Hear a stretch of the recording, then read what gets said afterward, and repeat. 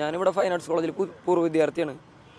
അപ്പോൾ ഞങ്ങളൊരു ഞാനൊരു ആറ് കൊല്ലമായിട്ട് ഇവിടെ വന്ന് വരച്ചുകൊണ്ടിരിക്കുന്നതാണ് ഒരാഴ്ചയായിട്ട് ഇവിടെ ഒരു കാറിൽ ഒരു പച്ച കളറ് ഷെവറോലറ്റ് ബീറ്റ്സ് കാറിൽ കുറച്ച് ആളുകൾ വന്നിട്ട് ഇവിടെ ഇരിക്കണമെങ്കിൽ ദേവസ്വത്തിന്റെ അനുമതി മേടിക്കണം എന്ന് പറഞ്ഞു ചോദിച്ചു അത് അതെന്തിനാണെന്ന് ചോദിച്ചു. ഇവിടെ എല്ലാവർക്കും പബ്ലിക്കായിട്ട് എല്ലാവരും വന്നിരിക്കണതല്ലേ എന്തിനാണ് അനുമതി മേടിക്കണമെന്ന് ചോദിച്ചു. അതിപ്പോൾ ഞങ്ങളെടുത്ത തീരുമാനമാണ്. സംഘടനാപരമായിട്ട് ഞങ്ങളെടുത്തുള്ള തീരുമാനമാണ്. നിങ്ങളിവിടെ ഇരിക്കണം എന്നുണ്ടെങ്കിൽ ദേവസ്വത്തിന്റെ അനുമതി മേടിച്ചിരിക്കാൻ പാടുള്ളൂ.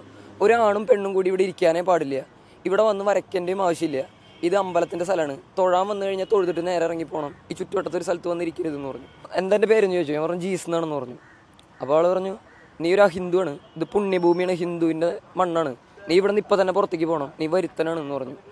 അപ്പോൾ ഈ പെൺകുട്ടി ചോദിച്ചു നിങ്ങൾ എന്തെങ്കിലും സംസാരിക്കണം? എങ്ങനെയൊന്നും സംസാരിക്കേണ്ട ആവശ്യമില്ല എന്ന് പറഞ്ഞപ്പോൾ ഇവളെ തെറിവാക്ക് വിളിച്ചിട്ട് ഇവിടെ നിന്ന് ഇറങ്ങി പോകാൻ പറഞ്ഞു.